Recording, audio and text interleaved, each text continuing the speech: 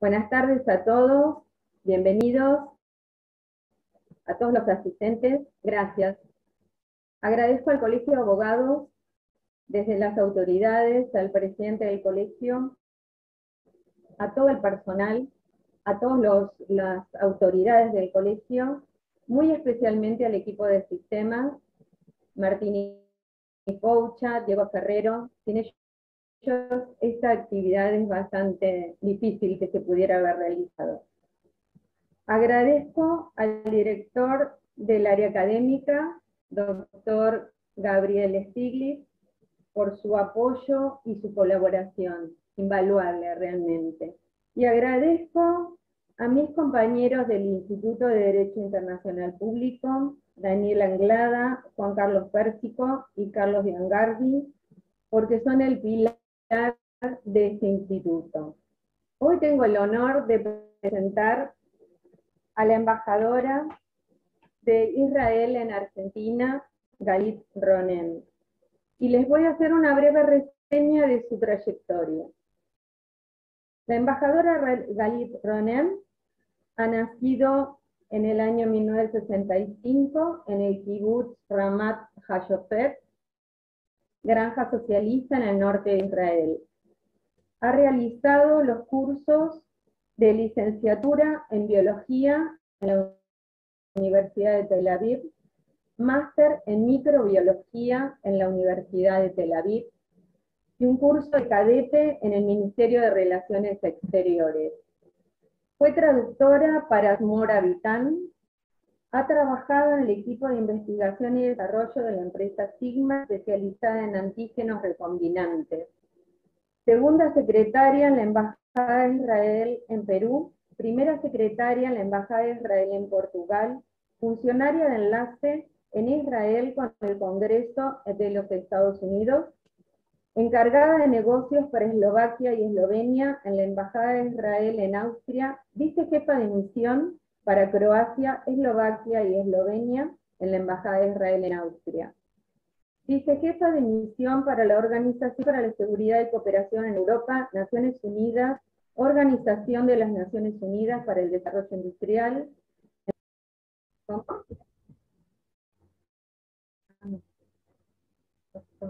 Continúa.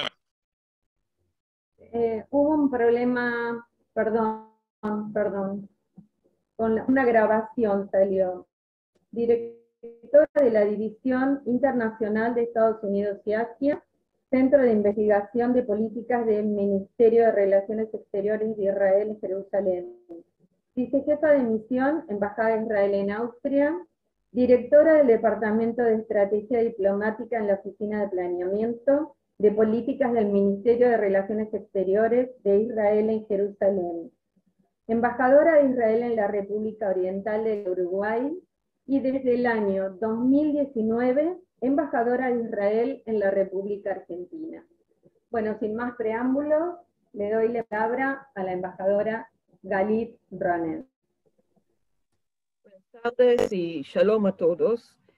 Em, yo voy a, como me pidieron una charla sobre el COVID en Israel, voy a dedicar las primeras palabras a este y después yo estoy totalmente a disposición de hablar de cualquier cosa si quieren. Voy a dedicar también cinco minutos sobre las relaciones bilaterales.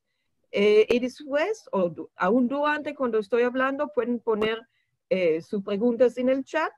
Y, y, y, Esther y yo vamos a ver mirándolo y vamos a ver eh, dando las respuestas si yo lo puedo dar la respuesta, no siempre, no sé todo, eh, pero vamos a hacer este. Si les parece esto, lo voy a hacer así. ¿Está bien con ustedes? Perfecto. Supongo que sí. Veo como tres que sí dicen que sí y los demás no dicen nada, supongamos que sí. Eh, sí, sí. Mira, yo voy a, como, como digo, voy a comenzar con el COVID. Eh, eh, si, estamos mirando cómo es Israel ahora, yo les puedo decir, mira Israel, ahí está la luz al final del túnel. ¿Por qué? Porque Israel desde el primero de junio ya no tiene ninguna limitación. bueno, mentira, hay dos limitaciones. Una limitación que será hasta el 15 es que tenemos que poner barbijos en lugares cerrados. Y la primera, la verdad, es que los, los, eh, la- los fronteras de Israel están cerrados. Israelíes pueden entrar, todos los demás depende. Eh, y nosotros hacemos un- un- una prueba de anticuerpos, está muy bien controlada quién entra. Cualquiera que entra tiene que hacer un- una prueba de, de antígenos, de, de PCR. Y de- por ejemplo, hoy fueron como 27 enfermos, de lo cual 10 vinieron de, fuera de Israel. Eh, entonces, eh, controlamos y tenemos un miedo de, nuevos cepos que quizás no va a funcionar eh, la vacuna que tenemos. ahora tomamos un- un- algunos pasos atrás. Israel firmó cuando solo comenzó la pandemia y nadie sabía que están. Israel firmó acuerdos con Pfizer, con AstraZeneca y con Moderna. Y también comenzamos a desarrollar la propia vacuna nuestra. Cuando ya hubo la vacuna, tanto Moderna como Pfizer, lo traemos hacia Israel. Y de hecho, ahora está vacunada más de 60% de la población está vacunada. Tomando esta semana, eh, esta semana o 10 días atrás, no recuerdo la fecha exacta, comenzaron a vacunar jóvenes hasta, hasta la semana pasada, digamos, eran vacunados de 16 para arriba. Eh, la semana pasada comenzaron a vacunar de 12 a 16 porque ahí dieron el ok, el FDA dio el ok de vacunar a ellos también. No vacunamos a todos de ellos, vacunamos a aquellos que son, ellos mismos son de riesgo o que están familiares o en contacto de personas que sí son en- de riesgo. Eh, pero en general somos una población de 9.3 millones, ya más que 5.3 o 4 millones ya están vacunados con los dos dosis. A las personas que, que fueron contagiados le dimos solo una dosis porque es suficiente. Los estudios dicen que la, la, la enfermedad es la primera y la segunda es lo que dimos la vacuna. Entonces, nosotros comenzamos a vacunar en, al fin de diciembre, cuando estaba ya comenzando la tercera ola. No estamos hablando de la segunda, sino la tercera ola. Estaba haciendo al mismo tiempo, estaba subiendo el número de, de vacunados, al mismo tiempo estaba subiendo los números de contagios. Solo cuando llegamos más o menos a las 50% de la población, es cuando comenzó a bajar el, el número de contagios. Y de hecho, estamos mm, por ahora, para algunas semanas, algunos meses ya, eh, estamos muy bien. No tenemos, si estamos mirando el semáforo, no tenemos ni uno que está en rojo, ni uno que está en amarillo, ni uno que está en, no sé, naranja. Son todos verdes y hay, la mayoría son lo que nosotros llamamos verde fuerte, que es decir que más que una semana no hubo ni un contagio para más que una semana. Entonces, la Israel está, eh, como digo, está todo abierto adentro. De hecho, mi padre ha, pasa- pasado, hay, pasa- hay dos días atrás, disculpa mi castellano a veces, dos días atrás estaba en un concierto, estaban todos con barbijos, estaban en un concierto y el concierto estaba lleno.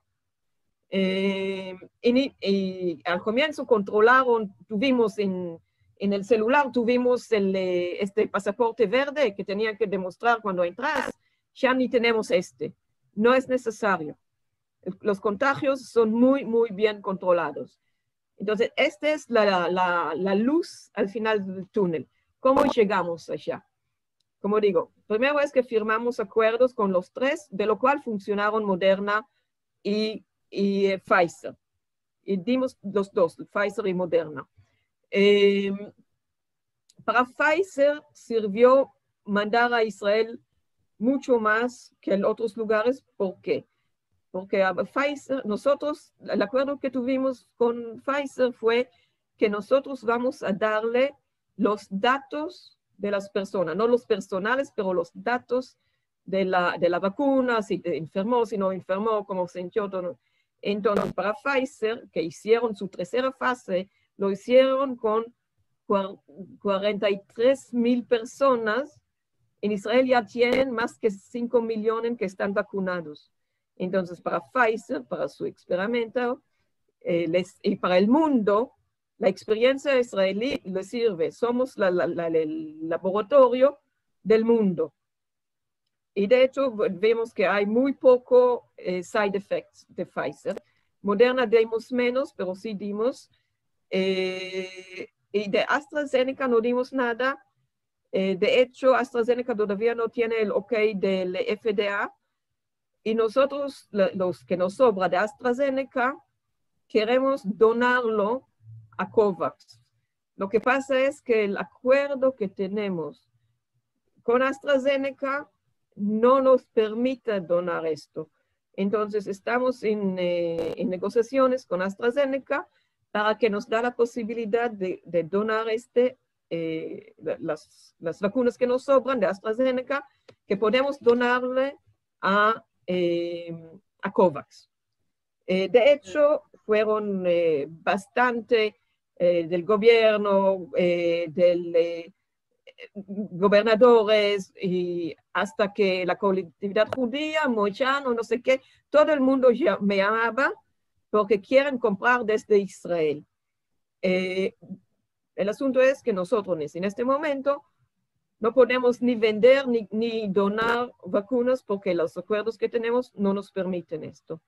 Eh, como digo, estamos en negociaciones.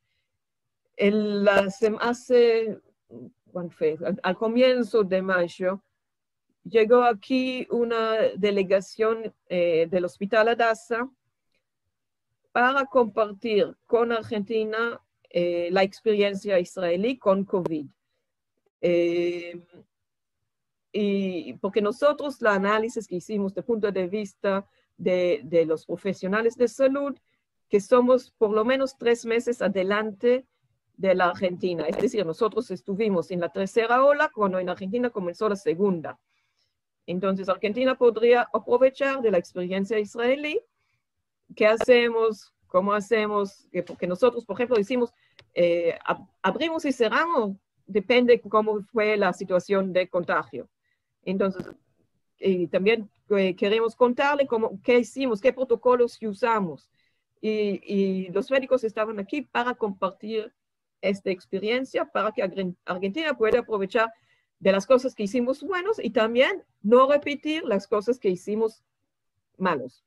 Eh, este fue un lado de esta delegación. el otro lado fue que vinieron, eh, vino un oficial del gobierno para analizar la posibilidad de hacer el tercer paso de la, del estudio de la eh, vacuna israelí que estamos desarrollando aquí en Argentina. Eh, el asunto es, en Israel ya no, no, no hay posibilidad de, de, probarla en Israel porque todos están vacunados, entonces tiene que ser en, en el extranjero para nosotros, en países que no son Israel. Eh, el asunto es también que aquí salieron cualquier tonterías, que está, por supuesto, que va a estar aquí, que será en San Isidro, que será no sé qué, en Tucumán, que será, no, salieron cualquier tipo de cosas. El asunto es lo siguiente. Nosotros pensamos de terminar la fase 2 al fin de este mes. Todavía no terminó. Cuando termina, tenemos que mandar todos los datos a los eh, asesores, eh, tanto israelíes como eh, internacional. Normalmente este proceso demora dos, tres meses cuando se lo apuran. Normalmente demoraría más, pero cuando lo apuran, dos, tres meses y de ahí vamos a comenzar el tercer paso. Y, la decisión dónde vamos a hacer el último paso eh, todavía no fue tomada. Está, estamos analizando la Argentina, pero estamos analizando otros países también. Yo supongo que al final, supongo, no tengo ningún conocimiento de esto, pero supongo que al final lo vamos a hacer la prueba en más que un lugar de un país, porque nos sirve tener la, la variedad de personas eh, y, y, que tiene una población eh, heterogénea también. Entonces, eh, y, también que tenemos la posibilidad de producir en este país. Es decir, que estamos buscando países grandes. No, no, no, no va a estar en Finlandia, por ejemplo. Por. No, no, eh, estamos buscando países como Brasil, como la Argentina, como India, cosas así. Ahora, si será en la Argentina o será en otro lugar, la decisión todavía no fue tomada. Eh, esas son las cosas que tengo que decir ahora sobre la vacuna. A ver, eh, bueno, no veo que hay preguntas. Eh, entonces, bueno, este es el tiempo para escribir. Una pregunta. Hay una pregunta. Eh, ¿Quiere la, se la transmito ahora o cuando Sí, sí, sí, lo veo, lo veo. Israel, todos lo vean, este, pregunta sobre por qué Israel no optó por AstraZeneca o, o Sputnik. es muy sencillo. Sputnik no tuvimos eh, una, bueno, los dos todavía no tienen el ok del FDA.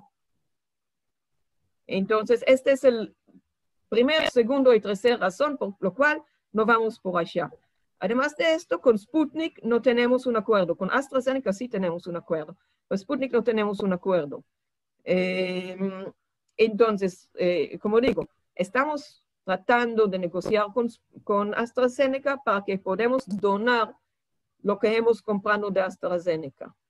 Pero hasta que no hay, nosotros, hasta que no hay la prueba de o FDA o el equivalente europeo, que no recuerdo su, su símbolo, eh, no lo permitimos en Israel. Por lo cual en Israel solo está permitido eh, el Pfizer y la eh, Moderna, que son eh, bueno, sí creo que hay también el OK de Johnson Johnson, pero no, nosotros no lo usamos. No tenemos un acuerdo con ellos y no lo usamos. Eh, ahora bien, si, claro, ustedes tengo una pregunta que... Una pregunta, tengo una pregunta que eh, hace un par de semanas visitó nuestro país una delegación de científicos y médicos de Israel. ¿Hasta dónde pues, se puede saber la evaluación que hicieron de la situación argentina.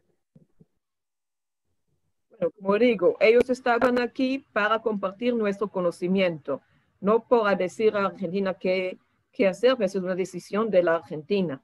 Nosotros podemos decir en cual, tal y cual situación nosotros usamos este y estos eh, temas, este en este protocolos, y la Argentina tiene que decidir si lo adaptan, si no lo adaptan, si hacen una si lo cambian un poco para que sea mejor para Argentina, es una decisión de la Argentina. Nosotros lo que podemos hacer es compartir cómo lo hacemos nosotros, qué nos sirvió y qué no nos sirvió. Ahora veo que aquí una eh, otra pregunta, ¿cómo afecta la, la, relación, la última votación en la ONU al proyecto, eh, cómo se va a afectar realizando un proyecto conjunto? Mira, hay cosas políticos, es una cosa, pero la vacuna es una cosa humanitaria, que de ninguna manera vamos a, dar la política a afectar cosas humanitarias. No este no. Eh, también te puedo decir que yo, por ejemplo, el viernes, el último viernes, plantamos 60 árboles por el Día del Ambiente, que, será, que era sábado, pero nosotros no podemos hacerlo sábado, es Shabbat. Entonces plantamos 60 árboles en la municipalidad de Vicente López. Hicimos lo mismo algunas semanas atrás con la municipalidad de Lomas de Zamora. Eh, ¿Por qué? Porque el medio ambiente era el Día de la Tierra eh, cuando plantamos en eh, Lomas de Zamora. Porque nos, hay cosas que son más que políticos. El medio ambiente es universal luchar contra la corona o en favor de la vida es humanitaria, es universal. Eh, cosas así son eh, para nosotros, se supera la política. Eh, tengo, tengo una pregunta, embajadora. se dijo que se realizará un acuerdo entre Argentina e Israel para fabricar la vacuna aquí. ¿Qué se sabe de eso? Bueno, acaba de decir que cualquier noticia que salió que hay un acuerdo no es la verdad. Estamos en la segunda fase, todavía no terminó la segunda fase, después vamos a tener algún tiempo para analizar y lo asesorar, y después vamos a comenzar la tercera fase, todavía no firmaron nada de nada, la decisión dónde lo van a hacer no está tomada. Entonces, lo que publican los diarios, o que lo publican lo que sea, del lado israelí, 100% no firmamos todavía nada. Ahora bien, o Israel por lo que... También le, hago, le hago la pregunta o usted quiere. Eh, yo tengo uno que está en el chat general, no sé si vos quieres leerlo o yo lo voy. Sí, sí, se la leo, se la leo. Dice, hoy Israel, por lo que plantea, va en camino a lograr inmunidad de rebaño. ¿Cómo proyecta Israel el futuro de la vacunación? ¿En etapas o en etapas futuras? ¿Podrá implementar la vacuna en su país y en otros? Eh, bueno, no entendí la, última parte de la pregunta, porque en Israel ya está en, la situación donde tenemos menos de 20 nuevos contagios al día. Es decir, que, estamos, eh, ya estamos en la inmunidad de rebaño.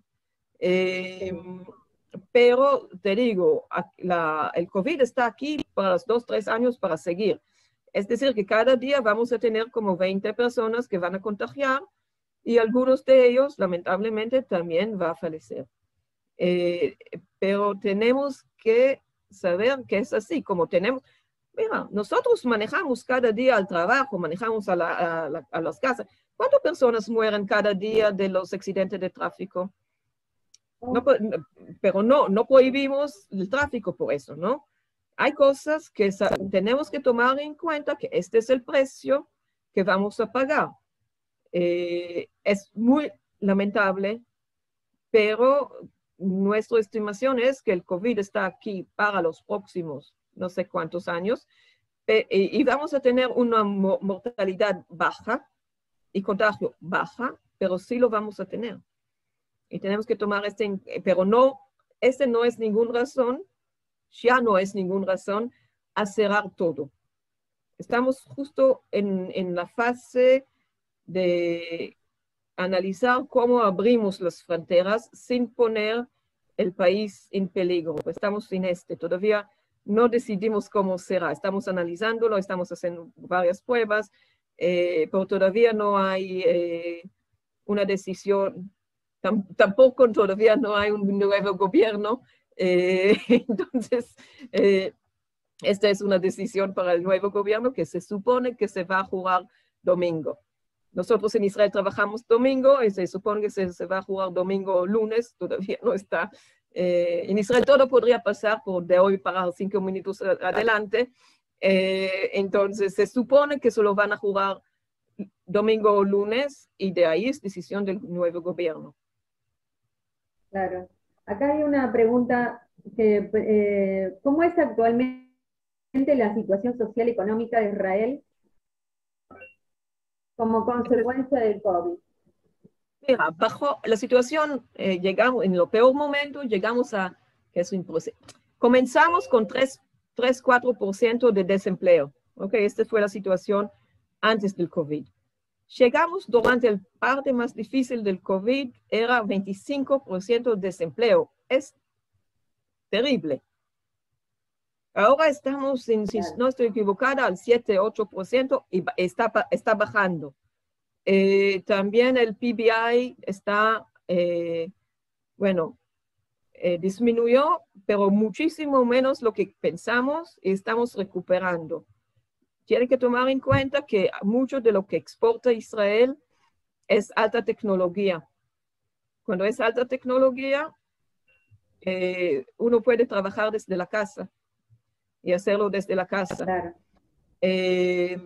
igual los restaurantes, el turismo, son, son sectores que fueron muy golpeados y justo por esto estamos ahora analizando cómo abrimos las fronteras para habilitar que sí entren turismo.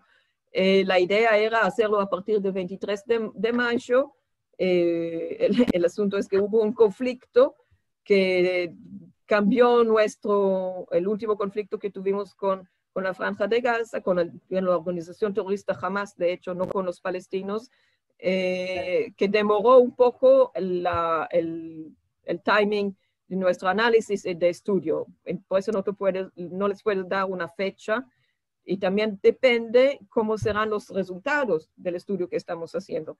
La situación ahora es que grupos de turistas controladas podrían entrar si hacen el testeos y si tienen los anticuerpos, tienen, bueno, entran con un PCR negativo.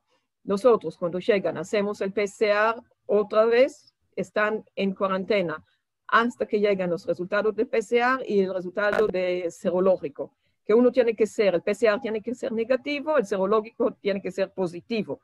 Eh, y, si tienen estos dos, podrían salir como cualquier persona, eh, sin limitaciones. Pero son grupos que sabemos que son, que, que podemos controlar, ¿no? Que este grupo se va al hotel hasta que llegan todos los resultados. Cuando llegan los resultados, podrían salir a hacer un tour organizado. Esta es la situación de ahora. Eh, estamos analizando cómo podemos hacerlo para individuales pero todavía eh, no, no llegamos a una conclusión, todavía no estamos en este. Mm. Acá hay una pregunta em, que dice, ¿qué ocurre con los argentinos vacunados con Sputnik si viajamos a, Israel? ¿Cuál es el protocolo? A nosotros no nos interesa qué, eh, qué vacuna recibiste o si estuviste ah. contagiado. A nosotros nos interesa el resultado. Es decir, vamos a hacer, por eso digo, un PCR, usted puede llegar con cualquier certificado. Nosotros no creemos en estos certificados porque ya tuvimos varios, incluyendo desde Argentina, que llegaron con un, eh, un documento que decía que no lo tienen y lo tenían. Entonces, no creamos en ningún documento, sea de Argentina, sea de Estados Unidos, sea de Rusia. Hacemos un PCR cuando llegan y hacemos el serológico cuando llegan. Si estos dos salen, uno negativo y el otro positivo, lo vamos a aceptar. Por lo menos esto es el plan. Todavía no está en marcha. Pero nosotros, a nosotros no nos interesa si recibiste Sputnik, Moderna, Sinopharm o, aquel que no recuerdo el nombre, este de, de, Cuba, que serán los únicos dos países que lo van a usar, Argentina y Cuba, pero no importa, la importa es que tienes los anticuerpos o no lo tienes. Esto es lo único que nos importa. ¿Cómo afectó la pandemia la economía de Israel? Yo ya contesté este, que, hablamos del desempleo y hablamos del... Eh, ah. ya contesté este. Sí. Bueno, después, eh, sí, en cuanto a recibir turistas, también eso ya creo que... Estos test no serán, no, estos test serán la última pregunta es si estos test... Otra cosa, sí. ¿Dos test a cargo del Estado de Israel? No. Si uno quiere venir al Estado de Israel, era, antes recién era por el Estado. Ahora estamos eh, a partir de, no sé si será el primero de julio, a, partir de una fecha anunciada, que será anunciado, van a ser tantos los israelíes que viajan al exterior y necesitan un PCR para subir al avión, como a la gente, o los israelíes, incluyendo, que quieren entrar al país, los tests serán al puesto de, la persona que quieren entrar. Es decir, un puesto adicional al, pasaje y todo. Acá hay otra pregunta que dice, ¿cuál es el inconveniente por el cual no puede donar las vacunas de AstraZeneca? En el acuerdo, tengo entendido que en el acuerdo. Sí, justo, por el contrato que tenemos con AstraZeneca, por el momento no nos deja eh, donar o vender a un tercer persona. Eh, estamos en negociaciones con ellos para que por lo menos nos permita eh, donarlas a, a, COVAX. Digamos, para que no decir que favorezco este y otro países o que Israel hace un, negocio de este, queremos donarlo a COVAX. El asunto es que por, el, momento el acuerdo no nos permite ese. Sí.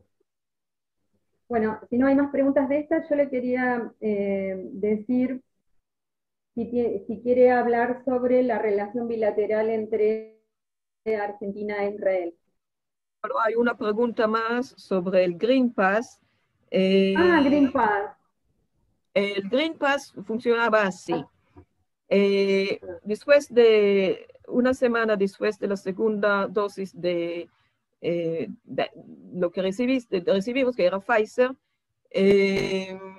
recibiste un anuncio al teléfono que puedes bajar el, el Green Pass. lo podrías bajarlo eh, eh, o del site del Ministerio de Salud o con un app e imprimirlo. Eh, yo, a ver si lo tengo aquí, creo que lo tengo aquí, lo puedo mostrar. era aquí, no, era aquí. Tengo dos teléfonos, perdón. bueno, la mayoría de nosotros lo bajamos por un app y, y lo mostramos cuando queremos entrar a un lugar o otro, y siempre hubo un control, tiene un código, eh, a ver, no lo veo aquí, puede ser que ya lo borré porque ya no lo necesitan. Eh, no, no lo veo, perdóname. Eh, pero hubo, es una como cuidar aquí, ¿sabes qué? Es como cuidar, pero diferente código. Sí. Y de ahí lo puedes, tú lo muestras aquí o lo, lo, muestras en papel, que por ejemplo mi padre que tiene más de 80 años, eh, no, no es tan fácil para él los apps. Eh, yo hice dos cosas. Primero lo bajé por, por, el app de todas maneras, que él podría mostrárselo.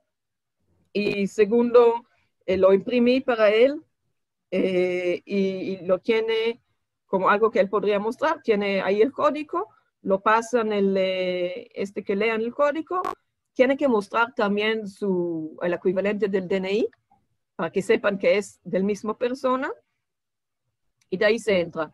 Pero ya no tenemos, ya no necesitamos el Green Pass, ya, ya abrimos todo a todo. Ah, sí, había leído que la Unión Europea aconsejaba el pasaporte verde, que sería el Green Pass, a todos los países de la Unión y bueno, no sabíamos si en Israel también estaba. Acá hay otra pregunta. Acá hay otra pregunta que dice, materia de respiradores, si tiene los suficientes como para asistir a todos los infectados. Lo que, lo que pasó es como, nosotros, eh, por suerte, entendemos desde el primer momento cómo será el COVID.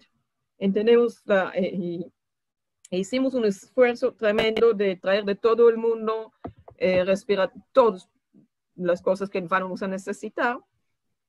Eh, por lo claro, tuvimos, tuvimos tanto que nosotros como embajada ya donamos al Ministerio de Salud de Argentina, eh, eh, no respiradores, pero no sé, ay, ¿cómo se llama?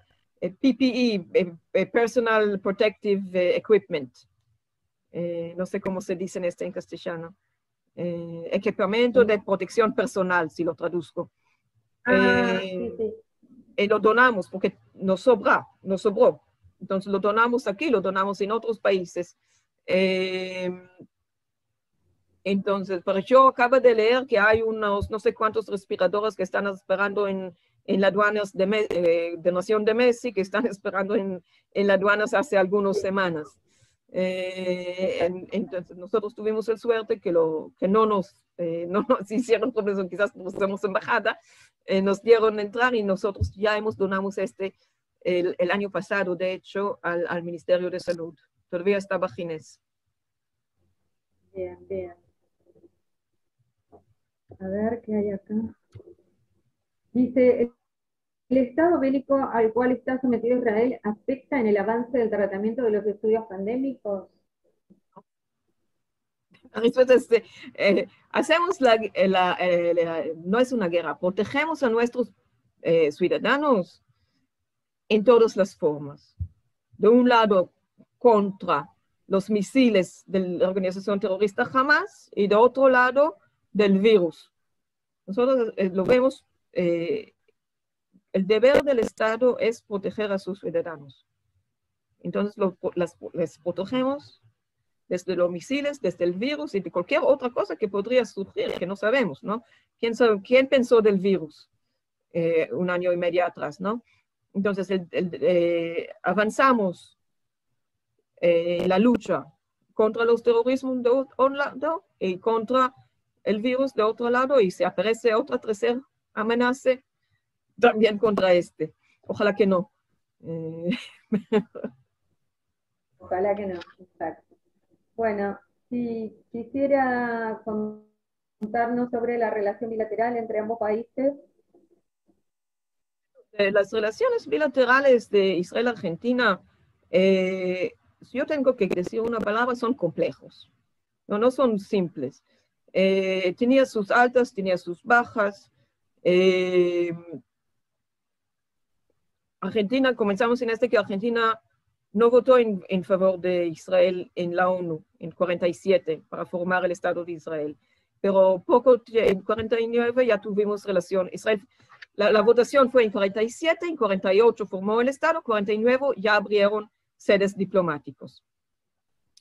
Eh, en Israel hay eh, alrededor de 80, 85 mil argentinos eh, que es casi, un, casi un porcentaje de la población israelí, es, es, de origen argentino. De hecho, uno de los candidatos al primer ministro, su padre es argentino, Guidón Sar, el padre de Guidón Sar es argentino. Eh, entonces tenemos una población argentina muy grande. De otro lado, en la Argentina hay la, la población judía quinta más grande del mundo después de Israel, fuera de Israel. Eh, que esto también, estos lazos sirven como un cuenta. Eh, no, podemos, eh, no podemos olvidar que aquí cayó una embajada. Aquí es el único lugar del mundo que cayó una embajada. Yo no sé cuántos de ustedes entraron en la embajada actual, pero la entrada a la embajada actual hay el símbolo de Estado de Israel, la menorá, la, la candelabra, que, que, sobrevivió intacto el atentado en, en, la, en, en, la embajada antigua, que es lo que tenemos en la entrada de la embajada con el foto, como la encontraron ese 17 de marzo de 92. Eh, también Argentina eh, firmó el acuerdo con el memorándum con Irán, que nosotros lo vemos como una amenaza verdadera a nosotros. Más aún porque, como ustedes saben, que el Hezbollah, que es decir, Irán, fue, eh, la justicia argentina dice que es el culpable de los atentados que estaban acá. Estaban dos, uno contra la embajada y el otro contra la AMIA, en 94 contra la AMIA.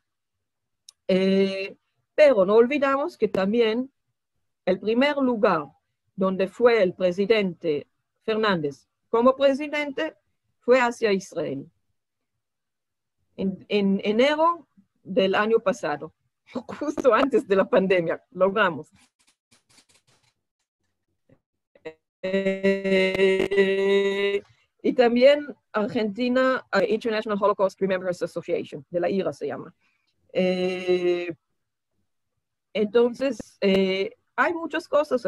Y la última votación, la verdad, no lo entendemos, no refleja las, las buenas relaciones que tenemos.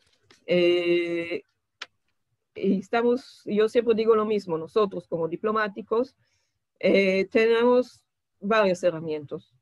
Eh, algunos son públicos, algunos no, algunos son formales, algunos no, y usamos las herramientas para superar este último eh, momento, que decimos la verdad, es un momento tenso.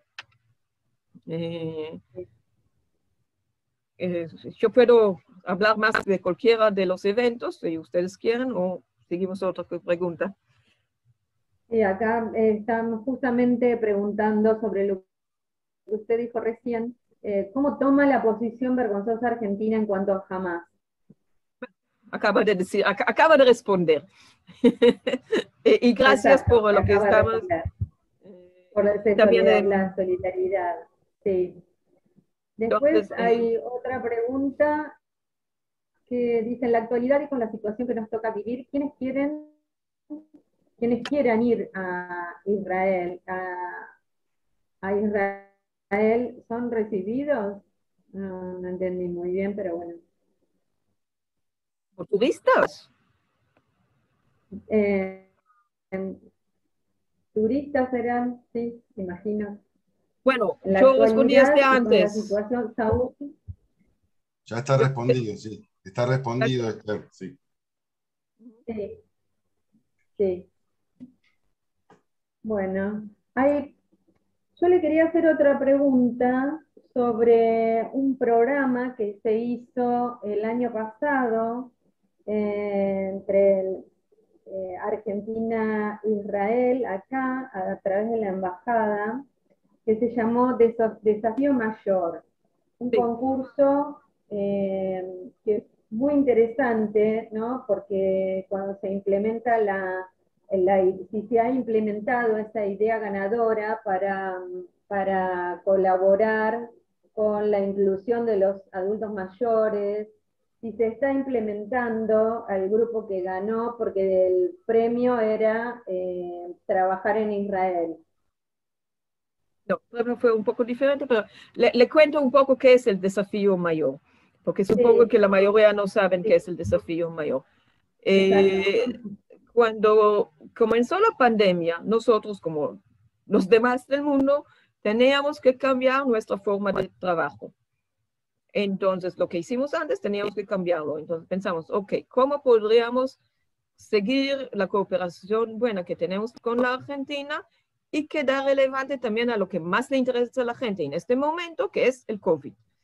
Y llegamos, y cómo usamos, siempre estamos diciendo y que en las cosas que Israel tiene una ventaja, que son las cosas de alta tecnología, de innovación, de emprendimiento, de cosas así. Entonces, llegamos a conclusión que lo mejor sería hacer una hackathon. Hackathon es como hackers y maratón, que es, eh, le da un desafío. Invitas a la población general a un desafío. El desafío que se llama eh, un, desafío mayor era eh, cómo qué podemos hacer contra la soledad en la tercera edad. Y en este desafío tu- tuvimos la cooperación de, de, eh, del Ministerio de Desarrollo Productivo, tuvimos la cooperación de PAMI y de DINAPAM, tuvimos la cooperación del Banco eh, Internacional de, el BID, de Desarrollo, tuvimos cooperación con la Cruz Roja, tuvimos, tuvimos la cooperación de muchos, muchos, muchos, y tuvimos muchas personas que escribieron, formaron grupos y llegaron a varias soluciones en tres días. Nos dimos este, este desafío y tenían tres días para resolverlo. Es un, un sistema que usamos en Israel para, para resolver varios problemas eh, y lo, lo, lo hacemos aquí también.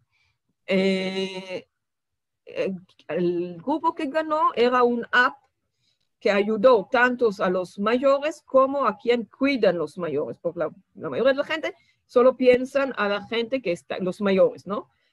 Pero a quien los cuiden, nadie lo piensa de ellos y, es muy difícil para ellos también. Bueno, este app ganó. Y, el, premio, primer premio es desarrollar este app para que sea un app que está eh, a disposición en el mercado. Y trabajaron sobre este con el BID, BID Lab, que es el laboratorio del BID, están, están haciendo, si no equivoco, la, los últimos pruebas que de esta y pronto tendría que salir este app. Eh, entonces, este fue el premio. También hubo un premio que lo van a capacitar en Israel. Este no se fue posible por, el COVID. Eh, pero estamos muy orgullosos y de hecho la semana que, no, semana que viene, en, en pocos días, no recuerdo la fecha, hacemos la segunda parte o para complementar, como no fue posible tampoco celebrar nuestro Día de Independencia en forma regular, que es invitar a la gente a una recepción y, y, hacer un brindis, si usamos este dinero para comprar tablets. Y estos tablets los vamos a donar a DINAPAM para que ellos lo, lo dan a los mayores. Entonces ahí celebramos nuestro Día de Independencia donando tablets a, a, lo, a, las personas mayores, que, para que no decir que nosotros favorecemos uno o el otro, lo donamos a DINAPAM y que DINAPAM lo distribu eh, distribuye, distribuye a, a, a, la, a, la, gente mayores. Eh, bueno, este es sobre el desafío mayor. Sí, en virtud que eran grupos interdisciplinarios, ¿se va a hacer sobre otras temáticas? Porque realmente es muy enriquecedor, muy innovador. Mira, llegar, es lo que, por eso está una de las razones por las cuales Israel está reconocida como una, un liderazgo mundial en, en innovación, es que nosotros siempre formamos o tratamos de formar grupos de, de varias eh, eh, profesionalidades, ¿no? Por ejemplo, eh, un uno que es especialista en la tercera edad, pero el otro es un, genio en computación y el tercero se va del, del, lado creativo, que sabe hacerlo en la forma gráfica, y de ahí salimos. Mira, yo soy científica. ¿Qué tiene la ciencia que ver con la diplomacia? ¿No? Pero mi formación es como científica, no estoy formada como diplomática, no, no fui a los clásicos de derechos humanos, ¿no? No, yo soy científica, pero este, el, el, la Cancillería no, dice que tiene que tener un bachelor en lo que sea, no les importa en qué, que tienes educación. Sí, lo más variado que es, mejor. Entonces, nosotros, como digo, yo soy científica, tengo una maestría en ciencia, en biología, en microbiología, que hoy lo llaman eh, genética. Entonces, nosotros estamos, eh, la, la, creatividad se abre cuando le da, no, cuando no se lo limita. Eh, la relación es comercial. Sí, sí en, de, de, inversión entre Argentina e Israel. Mira, aquí por ejemplo, le doy dos ejemplos. Hay, eh, aquí en, eh, en, la provincia de, de, Buenos Aires, hay un, eh, una, una compañía farmacia que se llama Teva, que es un sucursal de verdad de, de, de Teva, que es una, la, el grupo farma más grande de Israel. Ellos tienen una fábrica aquí y venden aquí. Tienen eh, eh, 200 eh, que trabajan en la fábrica y son mucho más si estamos hablando de, de la gente que lo venden, que, de la administración y todo. Este, este está aquí es en, en, eh, en la Argentina. hay otro que no, hay algo PEX que está en, eh, no recuerdo si es en Tucumán, está en Mendoza, creo, que es un joint venture de, de Israel con una compañía de plástico aquí que se, todos eh, juntos se crean eh, tubos de plástico que están usando en el campo de minas. Ahora bien, lo que vende Argentina a Israel, más que todo es carne carne y, y, cosas de la comida. 90, más que 90% son cosas así. ¿Qué es lo que vende Argentina al mundo? De hecho, Argentina vende carne primero a China, el segundo, que China tiene un billón, eh, el segundo a Israel, que tiene 9.3 habitantes, que por ahora no están vendiendo, porque hay un cepo, eh, que nos preocupa, la verdad nos preocupa. Eh, de hecho, Argentina en plano cuarentena, cuando comenzó en, en abril o mayo, llegaron casi 100 rabinos para que podrían hacer el carne kasher. Y el, eh, fue un, un, trabajo conjunto de, de, la, de la embajada con la Cancillería, con el Ministerio de Salud, con la inmigración, con el ministro del Turismo, todos juntos hicieron, un trabajo enorme para que se permita en el tiempo que estaba cerrado totalmente el país, podría aterrizar un avión de El Al, que es la tercera vez en la historia que aterriza un avión de El Al eh, en la Argentina, eh, porque no hay vuelos directos.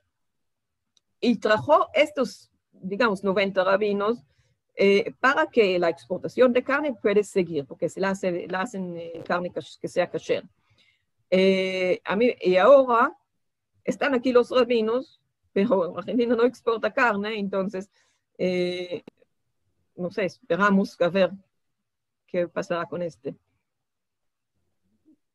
Sí, acá dice, habló del con las autoridades argentinas?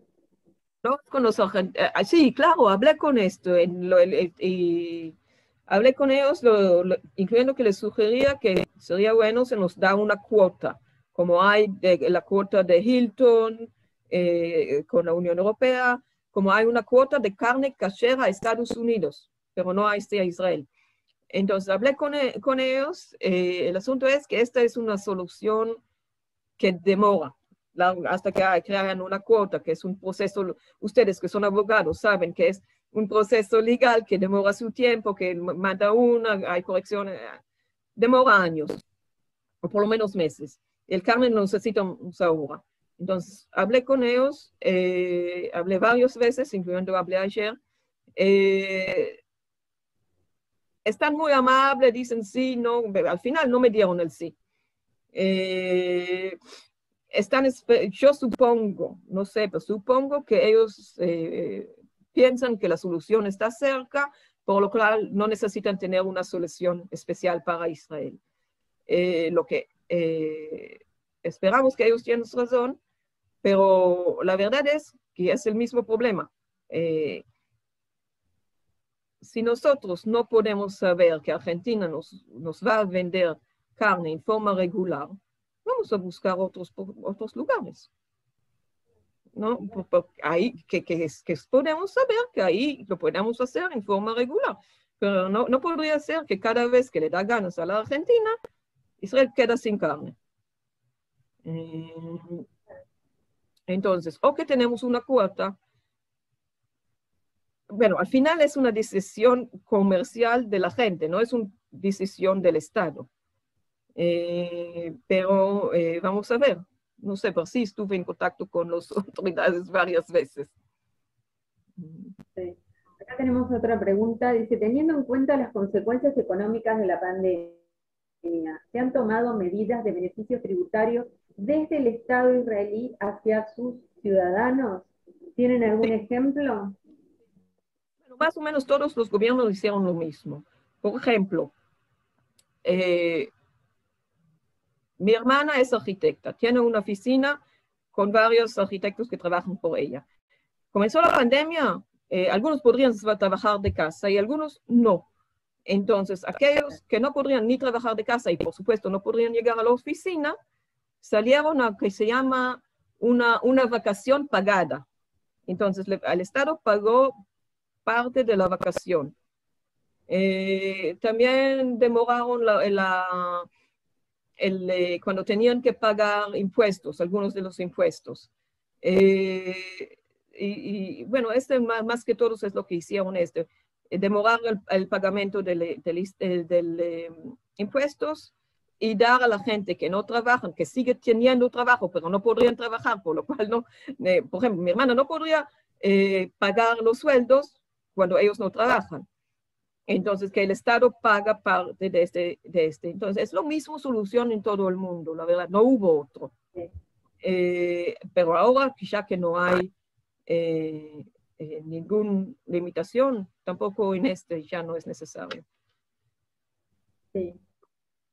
Acá tengo otra preguntita. Dice, ¿hay alguna razón especial por la cual no hay vuelos directos entre Argentina e Israel y viceversa? Comercial no hubo, en toda Latinoamérica no hubo, no hay vuelos directos de todos Latinoamérica. El dos o tres años atrás comenzó en forma experimental un vuelo directo que salió desde Santiago de Chile, hizo una parada en, en Sao Paulo y de Sao Paulo voló directamente hacia Israel. Este era lo único y era al punto de, valer eh, que comercial si valió o no valió. Entonces, no hay eh, suficiente tráfico de personas para que eh, sea beneficiado desde el punto de vista comercial. Claro. Sí. Bueno. ¿Tiene más preguntas? Le voy a dar la palabra entonces al director, al presidente del instituto, Daniel Anglada. Le agradezco, embajadora, muchísimas gracias y vamos a escuchar al, director del instituto. A. Silenciado. Gracias, ya vamos a aprender estas cosas. Bueno, en este año y medio estuvimos aprendiendo un montón de estas cosas. Bueno, señora embajadora, quería agradecerle en nombre del Instituto de Derecho Internacional Público del Colegio de Abogados de La Plata su participación en este acto y felicitarla por su muy dinámica exposición. Hemos visto colmadas las expectativas que tuvimos al invitarla y nos hemos enriquecido, estimo lo mismo que el numeroso público asistente, por la acabada información que nos ha brindado.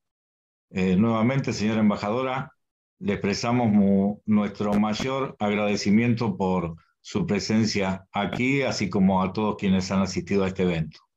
Eternamente agradecidos. Gracias a ustedes por darme esta oportunidad. El doctor Juan Carlos Pérsico.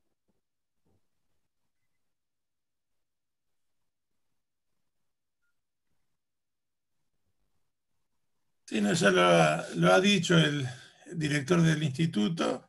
Le agradecemos mucho a la embajadora por su disertación, que nos sirve a todos para conocer mucho más sobre Israel, el tratamiento de la pandemia, las relaciones entre Israel y la eh, Argentina. Y ha, sido muy eh, interesante y ha aportado mucho conocimiento sus este, palabras. Así que muchas gracias, señora embajadora, y a, a todo el público eh, asistente también. ¿eh? Gracias. gracias. Bueno, ahora le doy la palabra a, al director del área académica, Gabriel Stiglitz. Gracias, Esther. Muchísimas gracias, señora embajadora. Hemos tenido un evento realmente de elevado nivel e interés. Yo quiero felicitar en primer lugar al Instituto de Derecho Internacional Público, que ya nos tiene acostumbrados a través de sus trascendentes eventos. En este caso ha sido de enorme valor desde el punto de vista institucional y académico, y como dijo el director del instituto, también muy dinámico, gracias, por supuesto, a, la disposición y a la enorme simpatía de nuestra embajadora y de su perfecto español también. Eh, embajadora, le agradecemos muchísimo por la claridad de todas sus expresiones, por la amplitud eh, con la que usted eh, se manejó con nosotros, haber podido desenvolver todos los temas por los que los colegas manifestaron interés. Agradecer muy especialmente a Esther por la coordinación, a Diego por eh, la operación técnica y si me permiten quisiera darle la palabra a mi amigo Miguel Antonovich, que está aquí presente para saludar a todos y en particular a la embajadora en nombre de la colectividad judía de La Plata, a la cual pertenezco con orgullo. Muchas gracias, Miguel. Tu micrófono, Miguel, tenés que habilitar tu micrófono. Bueno, muchísimas gracias, señora embajadora. Siempre es un placer y un honor poder escuchar sus respuestas, siempre ilustrativa y nada que ver con los embajadores normales que nos edulcoran las respuestas. Usted va directamente siempre al hueso, siendo muy clara e ilustrativa con sus respuestas. Desde ya también agradecerle a, toda la, a todo el cuerpo directivo del Colegio de Abogados de la Ciudad de La Plata y del Instituto de Derecho Internacional eh, Público. Desde ya muy agradecidos por esta invitación y que nos hayan este, dejado sponsorear la misma. Muchas gracias a todos los participantes. Gracias, Esther. Y embajadora, la, las dejamos para sus últimas palabras de despedida. Muchas gracias. Yo también quiero agradecer a algunas personas, primero los que están presentes, los dirigentes y los demás. Eh, también agradecer a mi equipo que, que, ayudó en este, que son eh, Amital y Azul. Eh, uh, y estamos, uh, siempre estamos en eh, favor de cooperación, aunque aparentemente no soy una embajadora normal.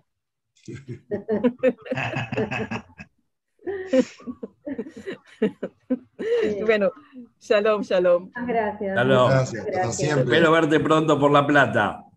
Muchas gracias. Bueno, gracias. Chao, chao. Muchas gracias. Un aplauso. Gracias.